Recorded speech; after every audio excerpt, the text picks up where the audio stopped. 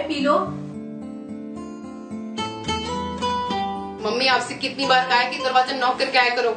सुबह सुबह शक्ल दिख लो तो दिन ही खराब हो जाता है। मम्मी जैसे ही कहती है मान लिया करो ना क्यों सुबह सुबह सबका मूड खराब करती हो? बेटा मैंने तो दरवाज़ा नॉक किया था। जब अंदर से कोई आवाज़ नहीं आई तो मैं चाय लेकर अंदर चली आई। क्यों झूठ बोल रही हो मम्मी? हम सो रहे थे मर नहीं गए थे कि जो आपने दरवाज़ा नॉक किया और हमें पता ना चला हो। बेटा सुबह सुबह ऐसी बातें मत बोलो। हो सकता है मैं दरवाज़ा नॉक करना भूल गई हूँ। सॉरी बेटा। नहीं मम्मी मैंने देखा था। दादी ने दरवाज़ा नॉक किया था। चुप कर दादी का चमचा।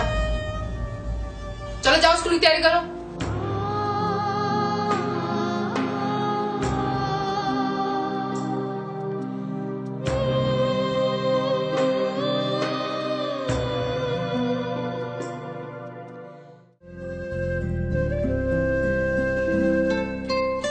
मम्मी कल मैंने आपको नीलू की दवाई का पर्चा दिया था। वो कहा है? मुझे ऑफ़िस से लौट कर उसकी दवाई लेकर आनी है। कौन सा पर्चा बेटा? मम्मा आप बूढ़ी हो गई हो। सठिया गई हो। हर बात भूल जाती हो।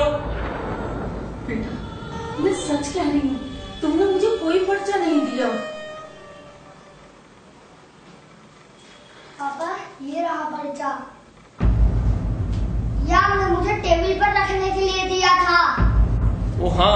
ये तो मैं भूल ही गया था। पापा बूढ़े हो गए हो सटिया गए हो हर बात भूल जाते हो।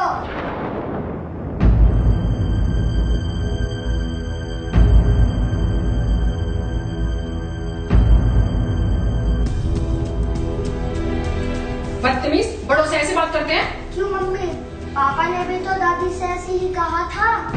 दादी क्या पापा से छोटी है? देखा आपने? अब तो ये भी इन्हीं की बोली बोलने लग गया चल जा स्कूल का टाइम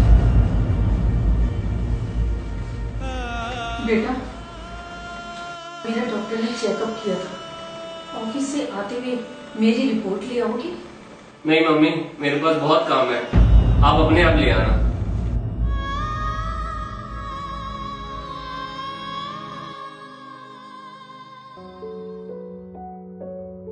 आपसे मुझे कुछ बात करनी है। हाँ बेटा बोल। क्या बात करनी है तुम्हें मम्मी जो वो मालवीय नगर वाला फ्लैट है जो आपके नाम है वो आप नीलू के नाम कर दो। क्यों? यहाँ कोई परेशानी है क्या? जो हम लोग सब वहाँ जाकर रहेंगे? हम लोग नहीं मम्मी सिर्फ़ हम लोग वहाँ जाकर रहेंगे। आप यहीं रहेंगी। क्या कह रहा है बेटा? मतलब तू मुझे अकेला छोड़कर चला जाएगा? मैं यहाँ अकेली रहूँगी। जी हाँ माँ। हम वहाँ रहेंगे और आप यहाँ अकेली रहेंगी। बेटा मुझसे ऐसी क्या गलती हो गई? जो तू मुझे अकेला छोड़कर जा रहा है। बच्चे बोल। कुछ तो बोल। मुझसे अब ये रोज रोज की चिक चिक नहीं सुनी जाती। हम आपसे तंग आ चुके हैं। क्या? तू अलग होना चाहता बेटा, जब तू छोटा था ना, मुझे बहुत परेशान करता था। और तू जब मुझे ज़्यादा परेशान करता था तो मेरा प्यार तेरे लिए बढ़ता जाता था। जब कोई तुझे बुरा भला कहता था, मैं उससे लड़ जाती थी। मैंने तो तुझे कभी अकेले नहीं छोड़ा। और आज तू अपनी बीवी के कहने में आकर मुझे यहाँ अकेला छोड़कर जा रहा है।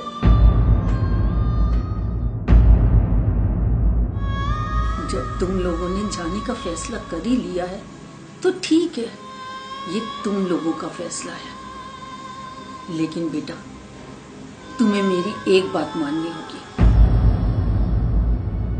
अरे घबराओ मत। मुझे दो महीने दे दे फिर मैं सब कुछ तुम्हारे सुपुर्द करके मैं तुमसे कहीं दूर चली जाऊँगी लेकिन सिर्फ़ दो महीने। हाँ बेटा। सिर्फ़ दो महीने।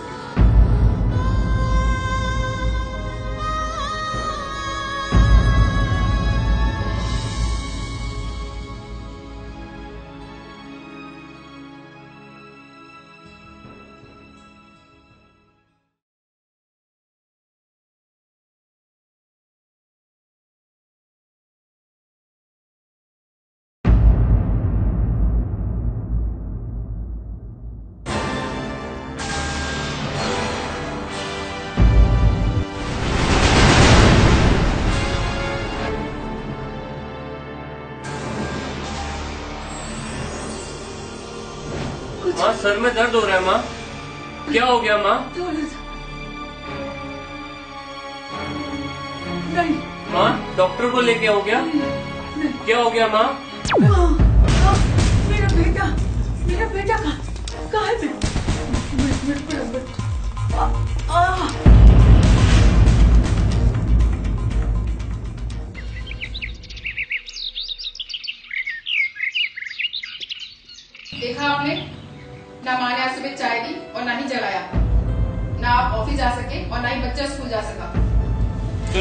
चलो आज देख कर ही आते हैं। मम्मी मम्मी, अभी तक सो रही हो? ये कोई सोने का टाइम है? Mummy mummy mummy.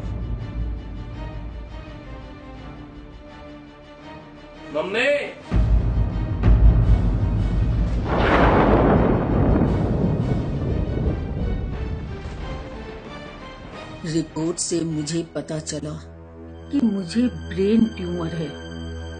मैं अपने बहू बेटे को बताती। पर उससे पहले ही उन्होंने मुझसे अलग होने की बात कर दी। अब मैं दो महीने से ज़्यादा नहीं जीऊँगी। अगर मैं इन्हें अभी अलग जाने दूँगी तो मेरे प्यारे पोते राजू को लगेगा कि मेरे मम्मी पापा मेरी दादी को बुढ़ापे में अकेला छोड़कर अलग हो गए।